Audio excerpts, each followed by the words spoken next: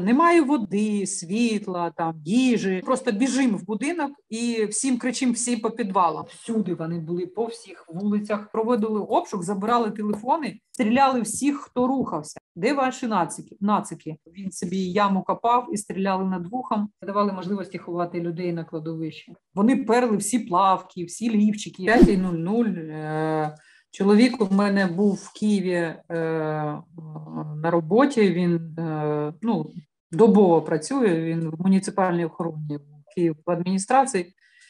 Він зателефонував о 5 ранку, сказав: Мамочка, війна.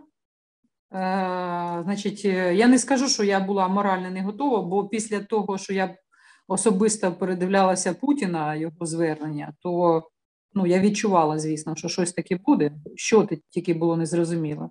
І ми допустили ту, дуже таку з одного боку помилку, я вважаю, з іншого боку, це ну, дещо нам так було легше, бо донька у мене вже доросла 26 років, перебувала на той час в Києві. Мій чоловік зателефонував їм також в 5 ранку, сказав: терміново збирайтеся, збирайте речі і їдьте в Бучу. І вони зібралися і приїхали. Ми думали, що в Бучі буде більш безпечно. Таким чином, люди, які е, фактично могли взагалі не потрапити в окупацію, потрапили в окупацію. Це з одного боку, а з іншого боку, я розумію, і ми розмовляли про це. Якщо б ми були е, ну, вони в Києві, ми тут, і з нами б пропав зв'язок, як у багатьох то ну, це от взагалі во всій окупації я зрозуміла, що це найгірше. Тобто немає води, світла, там, їжі, ну там чого завгодно, але коли немає зв'язку з рідними, коли ти не можеш просто повідомити, що з тобою все в порядку, або що тобі потрібна допомога, це найгірше взагалі. Я зрозуміла, що це взагалі найгірше. Шістьох були всі поруч. Тобто, ми були я, чоловік, донька. Е, моя свекруха, яка з нами тут мешкала 83 роки, е, і це також була складність, тому що вона погано дуже дуже пересувається навіть по квартирі. А коли мова йде про якусь там евакуацію або спуститися у підвал, то це взагалі було. Ну і ще не доходило, що рятуватися треба в будь-якому випадку, неважливо, як ти себе почуваєш. Тому для нас війна почалася е, з того, що 24 числа донька з хлопцем ну, приїхали до нас, а чоловік ще залишався в Києві. Ну і почали ввечері е, перші такі вибухи, Гастомірський аеродром, ну, вертольоти спочатку. Тобто ми їх бачили, це все на очах відбувалося, і потім е, ну, заріво було просто червоне заріво. І чоловік сказав, що йому попросили його залишитися ще, ну тобто почергувати там на об'єктах, і він затримався. І 25 числа е, вже я йому дзвоню, кажу: слухай, ну тут таке вже відбувається. Кажу, ти ну, ти коли приїдеш уже?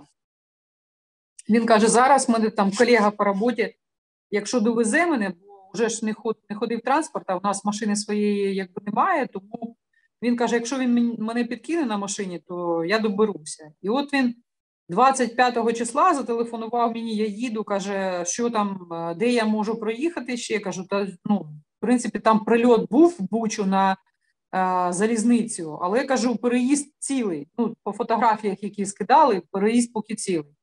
І тільки він приїхав, е, ввечері приїхав.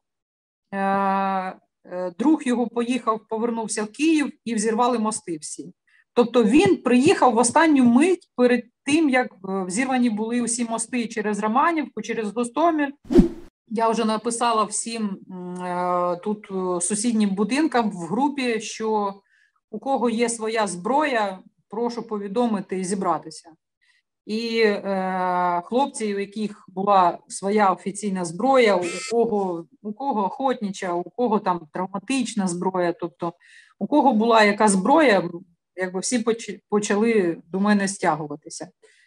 І кожен почав ну, якби, цю інформацію, ну, намагалися координувати дії, тому що ми на той момент розуміли, що, хоча б ми своїми силами можемо взяти під охорону наші будинки. І 25 числа вже почали надходити інформація, що росіяни залишають мітки там на будівлях, на дорогах, і, і нам надійшла така інформація, що, начебто, начебто, мітка була е, біля нашого будинку, а вже було запроваджена комендантська година. Ну і ми вирішили вийти, подивитися ту мітку. Е, ну, вийшли на дорогу, вже була комендантська година. А ми, вибачте, ну це знаєте, це на той момент ще не було усвідомлення, що таке комендантська година. І ми почали ходити по дорозі і шукати мітки. І ввечері до нас вже прийшли двоє хлопців зі зброєю, звідки не зрозуміло. Вони прийшли зі зброєю і сказали, що ви там ходили, комендантська година, хто ви такі? Я кажу, а ви хто такі? Ну, тобто ми один до одного. А виявилося, що це були хлопці, які також самоорганізувалися, громадська організація Бучанська варта. Вони прийшли, тому що їм надійшло повідомлення, що якісь невідомі ходять по дорогі і там ставлять мітки. Тобто на нас було повідомлення, що ми не шукаємо мітки, а що ми ставимо мітки. Ну таким чином ми познайомилися і ми домовились наступного ранку зустрітися. Я сказала, що ми координуємо тут дії е, свої навколишніх будинків. Ми домовились наступного ранку, 26-го, о 7 ранку, вже бути у них для того, щоб скоординувати нашу спільну, спільну роботу щодо оборони.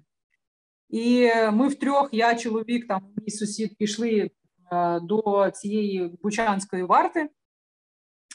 Виявилося, що це не тероборона, що це просто самоорганізація людей, ветеранів, які мали бойовий досвід.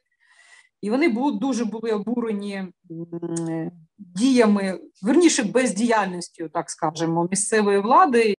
До мене звертається багато людей, які хочуть обороняти місто дайте телефон, якийсь контакт тероборони, куди люди можуть підходити. Е, на що мені було сказано, ми не уповноважені вам давати таку інформацію. 27 числа е, хлопці знову попросили мене підійти туди до варти. Я не знала, що вони від мене хочуть. Е, єдине, що я пропонувала ну, себе і своїх, так скажемо, сусідів в допомогу. Ми готові були, але у нас зброї не було. І ми туди підійшли, на що е, хлопці прямо прям зібрались, очікували мене. Каже, ми хочемо, щоб ти з нами записала прямий ефір.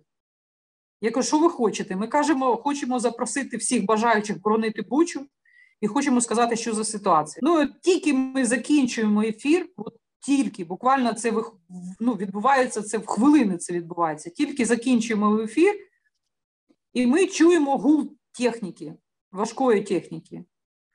Я кажу, що це? І е, там був, е, так скажемо, старший, він терміново дає команду всім по місцям. Тобто, як і виявилося пізніше, вони вже запланували позиції свої, де вони будуть. Він мене вигнав, каже, йдіть звідси. А у мене до них було, ну, у нас тут відстань метрів 500 до мого будинку. Я від них відходжу тільки, ми доходимо до свого будинку і починається постріл. Ми вже просто біжимо в будинок і всім кричимо всі по підвалам. Тобто всі закриваються у підвали, хто був вдома, все зачиняємо. Е, І просто в нас вже е, були вибухи фактично у дворі, тому що ну не фактично, вони були вже у дворі, тому що нам прилетів снаряд на я живу на четвертому поверсі, а снаряд прилетів на квартиру квартиру піді мною на третій поверх. Ми були в підвалі. Наша свекруха 83 роки у мене свекров залишалася в, квартирі. І просто ми спустилися в підвал, е, е, зателефонували, стигнули їй зателефонувати, щоб вона в прихожу зайшла, заховалася і не виходила звідти. Е, і поки були вибухи, сусід четвертого поверху, який через стіну з нами живе, він почав в групі Viber писати: Катя, у вас горить квартира, біжіть, тушіть квартиру. Вийти неможливо було, тому що просто ну, вибухи були. Е, я кажу, ми не можемо вийти зараз. І він каже: він, а він кричить: ну просто Катя, у вас горить квартира. Ми телефонуємо бабушці і кажемо, бабуля, що там? Вона каже, все в порядку. Ну, якби нічого не відбувається. Ми не можемо зрозуміти, що відбувається. Потім виявилося, що снаряд попав в третій поверх, і дим пішов, і він почав просочуватися.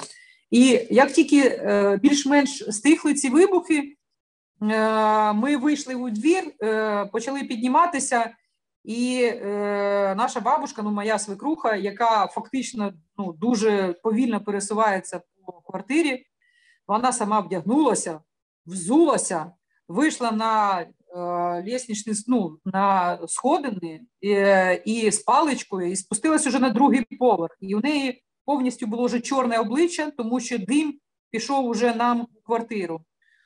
Е, людей, які е, куди потрапив снаряд, не було вдома, слава Богу, вони там е, з донечкою виїхали маленькою. І що? Я пишу в групу, і почались повідомлення в, в групі, в депутатській групі почались повідомлення, що горить той будинок, той будинок, той будинок. І я кажу, і ми, і у нас горить, кажу, на третьому поверсі.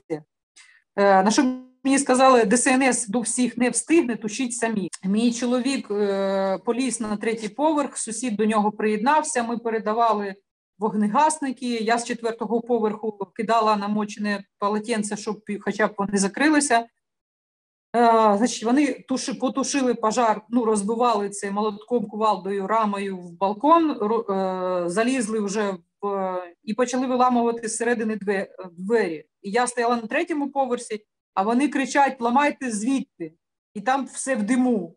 І в мене почалась паніка, тому що я зрозуміла, що вони не можуть вийти, і вони в диму. І просто я всім кричу: давайте ламати двері, а вони не можуть звідти відкрити.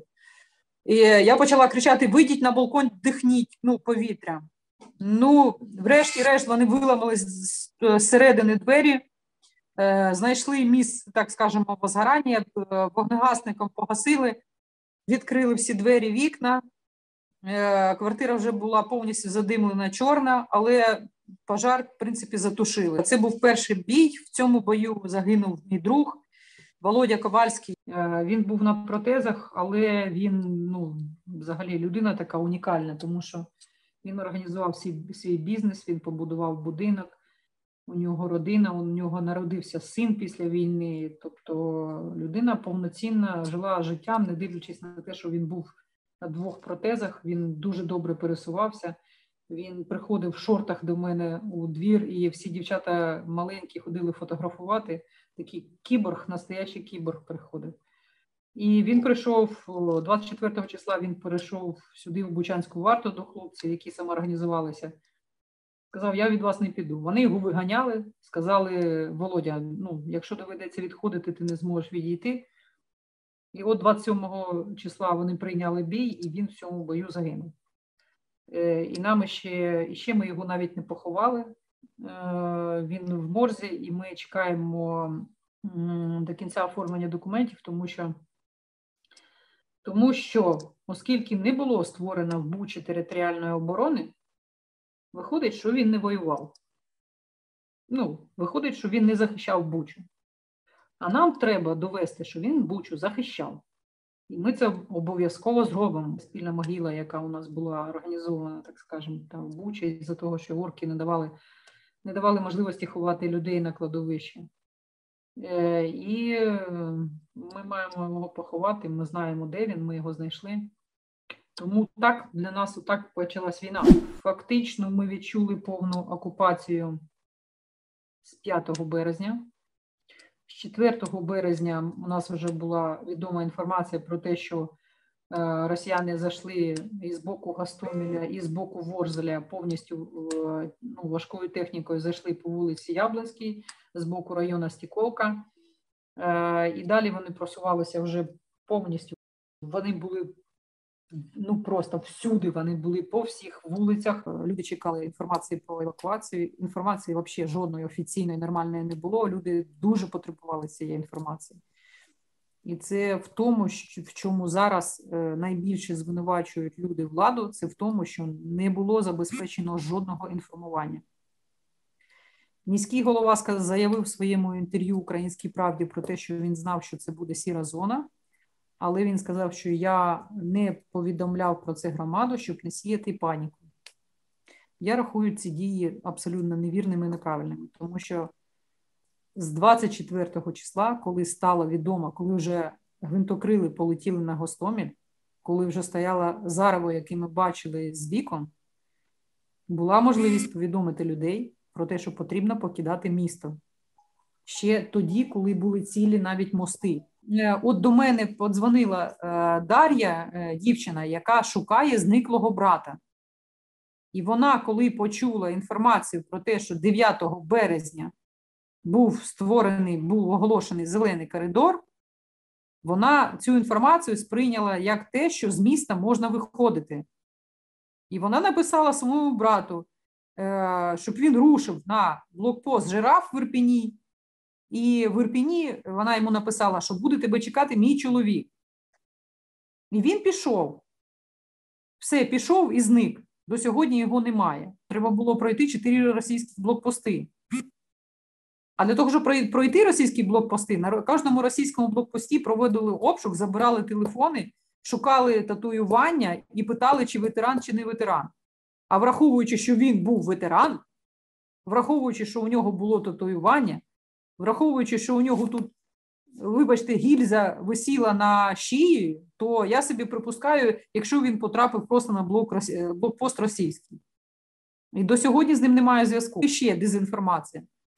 3 числа біля міськради військовослужбовці, які до сьогодні ми не розуміємо, що це були за військовослужбовці, ну, українські ЗСУ, якби ми не знаємо, хто це був, який підрозділ. Вони підняли прапор український, хоча він і не був опущений, і Буча не не вважалася до 3 числа, так скажемо, окупованою. Вони підняли прапор біля міськради і оголосили, Буча звільнена. А 3 березня людей вбивали на вулиці Яблонській, і з 3 на 4 вже відбулася окупація Бучі. Люди, коли побачили, що піднімається прапор, що Буча звільнена, сприйняли цю інформацію, що можна вільно пересуватися. Хоча до цього ми повідомляли, що машинами не їзди, лі, е, зайвий раз нікуди не йдіть, не пересувайтесь по вулицям, тому що це було небезпечно. Коли люди побачили підняття прапору, вони це сприйняли, що можна е, спокійно, вільно рухатися по місту. І деякі пішли. І 3 числа був вбитий, наприклад, у нас священник Української православної церкви, якого ми також шукали, і тіло тільки-тільки знайшли його ось тільки на декілька днів тому поховали. Він також пішов за пайком. Він 3 числа вийшов е, зі своєї кімнати і пішов, тому що сказали, що там роздають гуманітарну допомогу. Він пішов і росіянами був застрелений в цей день. І е, насправді інформація в даному випадку достовірна, об'єктивна, офіційна інформація, вона дуже потрібна була. Побачили ми їх вперше 6, 6 березня. 6 березня у нас е, вже зникло світло, і довелося всім виходити на вулицю, тому що потрібно були, було палити костри, щоб е, приготувати їжу, на їжу, нагріти воду, залити там у термоси. І 6-го ми всі вийшли на вулицю. І в шосте е, повз нашого будинку вперше проїхали два БТР е, з ними на броні, тобто з російськими солдатами. Е, їх було там десь чоловіка по 4 по 5 на кожній броні. Вони проїхали ну, зовсім поруч тут з нашим дитячим майданчиком, і всі стволи були направлені в наш бік. Оце для нас був такий перший такий жахливий момент, бо ми вперше так воочію близько їх побачили. Вони не зупинялися, хоча ми дуже переживали за те, що вони заїдуть у нам в подвір'я, але вони почали, просто почали тут е, рухатися, тому що у нас тут гімназія поруч, і в гімназії утворили шпиталь, і вони почали туди їздити, тобто щось вже возили, якийсь там відбувався рух. Там деталі я не знаю, мене там не було. Це була такі перші, вперше я їх побачила. Е, потім ми почали бачити патрулі, які проходили по вулицях е, поруч. І е, кожного разу, коли ми бачили, ми кричали просто в групу, щоб усі просто ховалися, закривали двері. Тобто ми людям повідомляли, щоб в ніякому разі з ними не контактували, а просто люди ховалися. Або 7 або 8 березня я дізналася, що мій колега-депутат перебуває біля виконкому, так скажемо, в якості охорони. Я здивувалася дуже, і я вирішила туди сходити. Зустріла там знайомих охорон, охоронців е, виконавчого комітету адмінбудівлі, і там, знаходячись з ними, під'їхав БТР до е, Бучанської ради, до адмінбудівлі. Сиділо три чоловіки на БТР, у них буква В була на БТРі, і вони були з білими пов'язками, з георгівськими стрічками. і вони підійшли до нас. І от ми перший контакт був, коли я, власне, не просто а от ми розмовляли. Він підійшов, сказав, де ваш мер, ну не українською, звісно, да? де ваш мер, де ваші депутати? І стояла я, і стояв мій колега-депутат. І з нами був третій, просто просто цивільний чоловік. Він він сказав: Та де каже, всі виїхали. Немає депутатів, немає, мера немає. А що треба? Ну, що треба? На що він сказав: ну, надо же как-то в жизнь, нужно, нужно, э, нужно встретиться, нужно жизнь в городі налажувати. Жизнь в городі налажувати. Ну, тобто, спочатку вони все розбили, воду, електроенергію все розбили, а потім давайте як-то життя в городі налажувати. Ну, на що там той, той цивільний сказав, що ну добре, якщо ми побачимо мера, ми йому передамо цю інформацію, ви під'їдьте пізніше. Ну, в принципі, вони з цим погодились, якби сіли на БТР і поїхали. Оце мій був такий другий контакт. І третій контакт це було 9 березня. 9 е, березня було оголошено евакуацію, яка ну, автобусами, яка не відбулася. І е, на цю евакуацію, як не ну, як не дивно, прийшли е, перші російські солдати, е, зовсім молоденькі. Ну, зовсім це явно були або срочники, або нам казали, що можливо стоїть медична частина у нас в центрі. І от вони прийшли серед натовпу зі зброєю і просто стояли. І люди почали охоточувати і запитувати хлопці, а що ви тут робите? А чого ви приїхали? Ну, тобто, ніхто не ризикував, звісно, ніхто не кричав там геть окупант, там, або як в Херсоні люди піднімалися, да, там Буча це Україна. Не було таких викликів, тому що вже всі розуміли, що дуже небезпечно, що що Буча окупована. Е, але у ці жіночки вони оточували е, ну, саме у цих солдат. Їх там було спочатку двоє, потім ще троє з'явилося. І видно було, що вони дуже переживали самі, хвилювалися, тобто залишатися наодинці, і вони так потихеньку-потихеньку звідти звідти пішли. Вулиця Яблонська це мій виборчий округ. Я знаю добре там людей, люди мене знають. І я почала збирати свідчення людей, які розказували за вбивства на їх очах, е, за те, як людей перевіряли, як ставили на ствол. Е, в Гаврилівці ми знайшли хлопця, якого брали у полон і і знущалися над ним. Е, ну, Він собі яму копав і стріляли над вухом. Тобто, от е, з 2 квітня я почала безпосередньо збирати ці свідчення. Люди розказували, що відбувалося, як себе поводили, і е, всі однозначно говорять, що особливо вони були жорсткі в останні 10 днів перед тим, як пішли. От друга половина березня вона була найбільш такою жорстокою, найбільше вбивство, найбільше. Якщо вони зайшли от з 3 на 4, починаючи е, з 4, 4, 5, 6 числа, вони просто стріляли всіх, хто рухався. Тобто, от вони зайшли колоною важкою технікою, і всі, хто був на їх шляху, вони просто розстрілювали. Тому ці люди, які на вулиці Яблонської, це наслідок їх, так скажемо, заходу саме в Бучу. Отак вони заходили. Вони просто розстрілювали всіх. Вони кидали гранати в будинок, тобто вони просто прострілювали вулицю Яблонську, вулицю Водопроводну. Всі, хто виходив на вулицю, були розстріляні. І це вже вже за результатами експертизи і за наслідками тих фотографій, які зараз публікує морг, це видно, що це були саме розстріли, що це навіть не осколкові там в результаті якоїсь там хаотичної стрільби. Це саме були розстріли, тобто умисні розстріли цивільного населення. Е, і і таких історій розстрілів дуже багато. І люди, ті, які вижили, це так скажемо, люди. Ну їх брали усі дані там, де вони стояли. От просто людей всіх переписували, всі паспортні дані, всі прізвища. Тобто, там, де вони стояли, вони записували все населення, яке залишалося. Тобто, всі були під контролем. Тобто не було такої людини, що вони там не знали, або хтось переховувався, вони всіх переписували. Тому, якщо були якісь сліди, так скажемо, от я дивлюсь, що в моргах багато тіл з татуюванням. Вони ходили і шукали, де ваші нацики? Де ваші нацики? Нацики, е, нацики, я так розумію, що оскільки вони багато шукали татуювань, вони асоціюють. Я думаю, що це асоціація у них у них з Азовом, тому що ну, хлопці здебільшого да, там багато хто з татуюванням. І от вони всі, хто з татуюванням, дуже багато розстріляних це саме з татуюванням. От в моргу дуже багато людей з татуюванням. Тому для них, е, ну тобто, або священника, якого вбили, який був ну, взагалі ну, для них ніякою не загрозою, е, е, він був з Івано-Франківщини.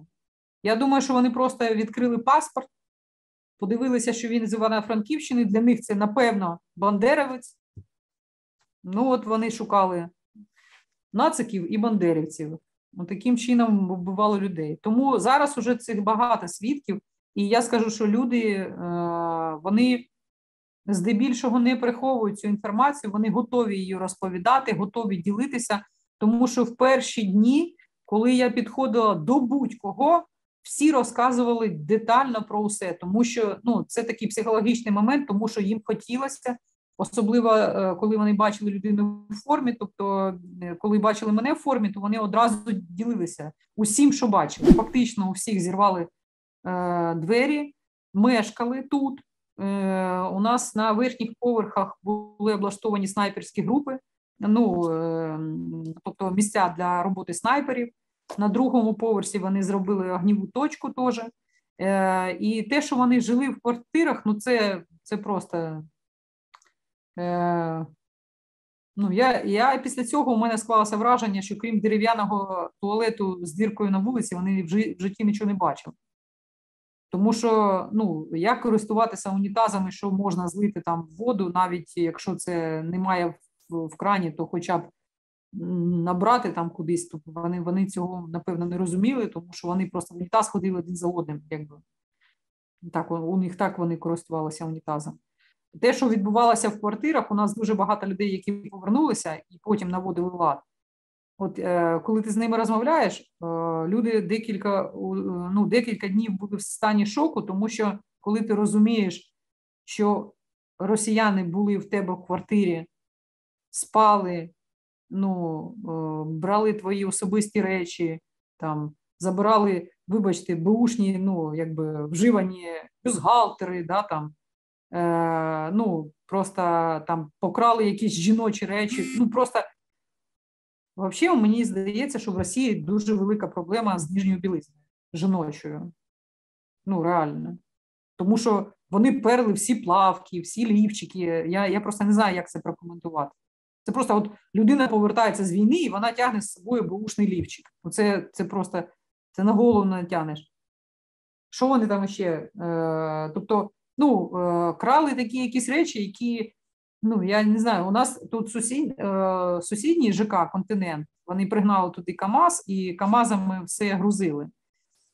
То е, техніку здебільшого вони не крали, а розбивали. Вони або прострілювали, або прикладом видно було, що пошкоджена була техніка. От у мене от, у колеги зараз волонтери, у нього, наприклад, покрали ті крупи, зібрали, муку, крупи зібрали. В кінці кінців 9 числа мені вже просто мої знайомі з Ірпіня передали інформацію про те, що про тебе вже відома інформація на російських блокпостах. Тебе шукають, терміново, терміново вибирайся з Бучі. Я не збиралася їхати з Бучі. Я думала до останнього тут залишатися, тому що е, біля мене організувалося дуже багато людей. Вони на мене розраховували. В будинку ми тут організували, ми охорону організували, двері зачиняли, продукти споживання. Тобто ми все приготували для того, щоб перебувати тут тривалий час. Тобто ми приготували підвали, воду, тобто ми домовились, ліжка спустили, хто де хто де, де спить, де діти. Тобто ми приготувалися до, так скажемо, до окупації. Спочатку я думала, чесно кажучи, переховуватися, просто потім зрозуміла, що це буде просто небезпечно безпосередньо в Бучі. 11 числа ми усією родиною, от так, хоч у нас там бабушка була проти, там і так далі. Ми отак зібрали всіх, кажемо, всі, все, їдемо. 11 числа ми автобусом, чоловік у мене з іншим на машині, тому що в автобусах, як би сказали, жінки і діти. Ми всі, слава Богу, вибралися, і 11-го ми вже були в Білогородці, але далеко ми не поїхали. Ми просто зупинилися в Києві і. Ну і, і в принципі, з цього моменту я там уже всередині березня о, створила такі, оголосила збір коштів на свою картку, оголосила збір коштів на закупівлю всього необхідного для захисників, для придбання бронежилетів, квадрокоптерів і так далі. Перебуваючи в окупації, я вже розуміла, що їм потрібно. Тому я почала збирати гроші і отримувати, так скажемо, цю допомогу. 2 квітня я вже приїхала сюди з першим гуманітарним вантажем, і все. І з 2 квітня ми фактично кожного дня в Бучі возимо, возимо допомогу. Люди ще потребують її.